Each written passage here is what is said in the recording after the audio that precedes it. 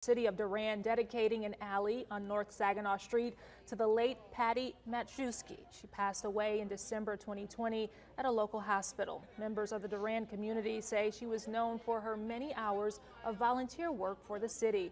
The director of the Durand Chamber of Commerce said she hopes the alley portrays Patti's vision for the Durand community.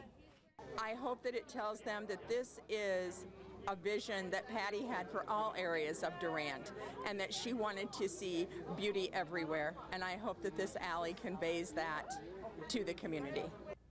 The alley took over a year of work by many volunteers. She was 68 years old.